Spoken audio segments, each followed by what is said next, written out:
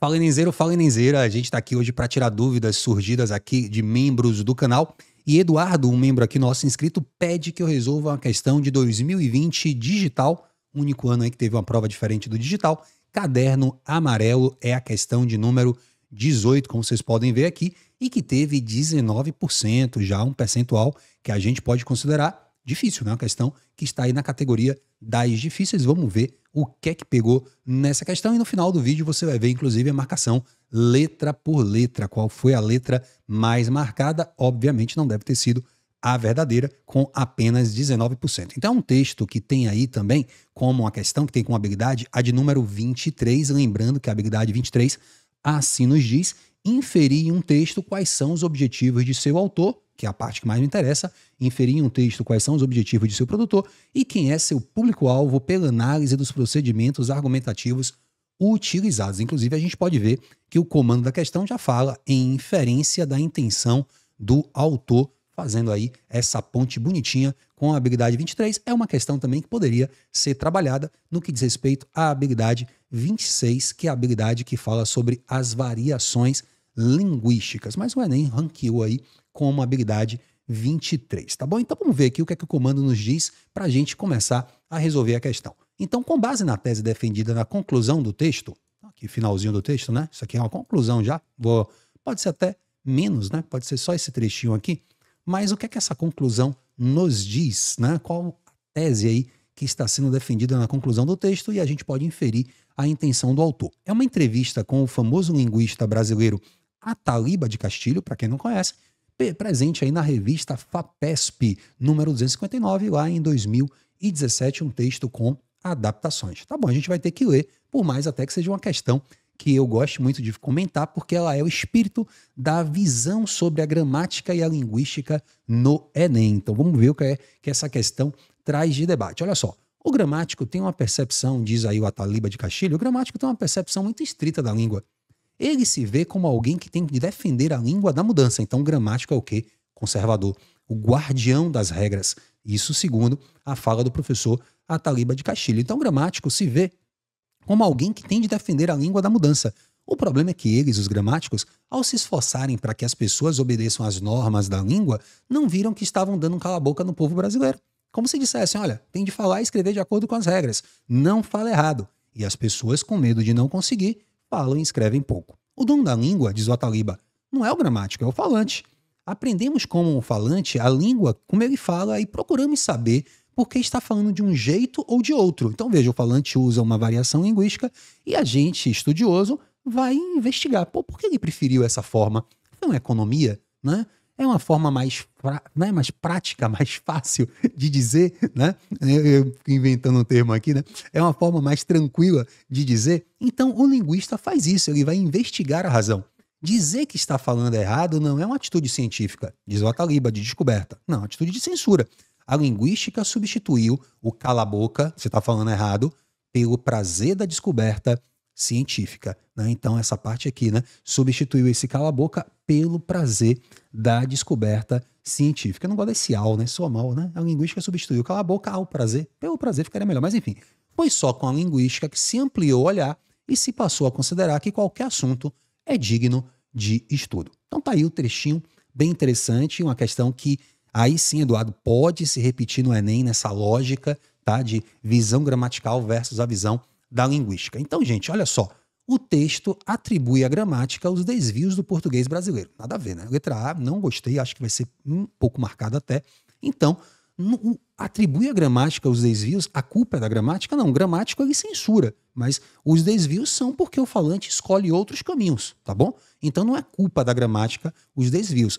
A gramática apenas sistematiza e diz: olha, isso aqui não está de acordo com o padrão que nós encaramos como padrão correto. Então não é a culpa da gramática, podemos dizer assim.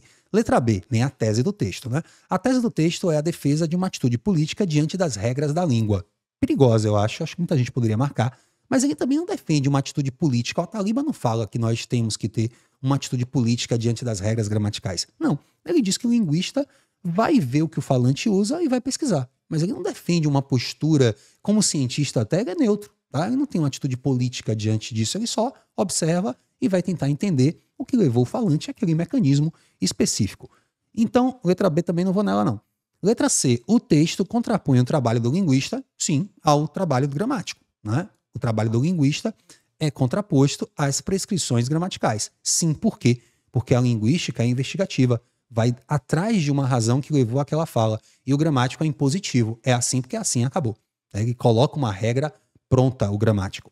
Tá? Então, letra C é, inclusive, a razão de ser do texto. Né? A fundamentação do texto, gabarito, letra C, sem maiores problemas. A gente vai ver daqui a pouco, no final do episódio, a marcação letra por letra, já sabendo que essa teve 19%, né? A letra verdadeira, 19%. Qual é a posição dela? Letra D. O texto tem uma tese de que o texto contribui para reverter a escassez de produções textuais no país. Essa eu não gostei, não. Para mim vai ser uma letra menos marcada primeiro. Não se diz no texto que tem uma parca, uma pequena, uma escassez de produções textuais. Isso é uma inferência muito além do que o texto permite. Segundo, seria muita pretensão da entrevista construir uma tese para contribuir para reverter a escassez de produções textuais no país. Eu sempre digo que é um pouco a pretensão da conclusão da redação do Enem, né? A redação do Enem ela tem uma conclusão que quer reverter um problema social. Então, os congressos, seminários do país inteiro não resolvem, mas você, na sua redação, ali nas, naquelas sete, oito linhas, resolve com todas as digamos, etapas possíveis, o problema em tela. E letra E, o texto isenta o falante de responsabilidade de seguir as normas linguísticas. Acho que muita gente vai errar essa. Porque o texto, ele não está isentando o falante de responsabilidade de seguir normas linguísticas e sim normas gramaticais. Veja, o falante não tem que seguir norma gramatical, porque o falante é espontâneo. Então ele não tem que seguir norma gramatical. Agora, norma linguística ele segue. Porque todo mundo que fala segue uma norma linguística por exemplo, da economia. Porque eu como as sílabas, não faço certos plurais quando eu estou falando, né? Eu ou qualquer pessoa. Porque a gente escolhe o caminho mais prático, o caminho mais rápido. Então, existe uma norma, um raciocínio linguístico por trás disso. Não existe um raciocínio gramatical. Porque a gramática manda a gente pluralizar tudo, por exemplo. Né? As pessoas honestas. Né? Não importa se eu disse as pessoas, já honestas tem que ser plural também. Por mais que só possa ser as pessoas honestas né? Eu já sei que são elas honestas. Então a gramática quer tudo no plural, por mais até que seja redundante. Então existe uma norma gramatical que o texto abre mão, digamos assim, porque o, o falante vai pelo caminho que ele prefere, mas não é uma isenção de norma linguística. Percebeu a sutileza? Muita gente talvez se atrapalhe nessa letra E. Não sei se foi a dúvida especificamente de Eduardo ou sua, que está vendo o vídeo aqui, por exemplo, né? e buscando a sua, é, enfim, resolução de dúvida, tá bom? Mas tá aí pra gente gabarito letra C, marcação inclusive agora letra por letra, como você quer ver. Letra E a mais marcada, 31%. Acabei de falar dela. Depois a letra A me surpreendeu com 21, né? Atribui a gramática os desvios do português, né? Uma visão aí bem equivocada da, do debate gramatical versus a linguística. Depois a gente teve a terceira letra foi a verdadeira com 19% e as letras D e B com 15 e 14. D e B menos marcado. Engraçado, a B eu considerava mais interessante até para a gente marcar, o pessoal marcar, do que a letra A, por exemplo, mas está aí, marcação letra por letra, você tem uma ideia dessa questão que foi acertada mais pelos IFIs, né, os Institutos Federais pelo Brasil, com 20,6, escolas particulares em segundo lugar com 20,3 escolas estaduais exatamente na média com 19,2, escolas municipais com 18,9 e não declararam onde estudaram. 18,8 de acertos nessa questão que teve aí, como vocês podem ver, 19%, e teve o Enem de 2020 digital, a média de 522, arredondando, se tivesse feito meu curso, com certeza estaria muito acima de 670, tá bom? Então tá aí para você mais uma resolução. Espero que Eduardo tenha ficado satisfeito com nosso videozinho. E se você não conhecia o canal, deixa aí o seu like. Também não custa nada você aqui se inscrever, deixar seu like e virar membro para poder pedir a sua questão e ter acesso a um banco exclusivo de questões aqui no canal. Com a pequena contribuição, você se ajuda e nos ajuda. Vou deixar aqui registrado o meu obrigado aos membros deste momento no nosso canal. Mas não vai embora não, fica aqui comigo ainda discutindo Enem em mais uma questão sobre língua e variação linguística, assunto que com certeza estará na sua provinha lá em novembro. Clique aqui, eu estou te esperando.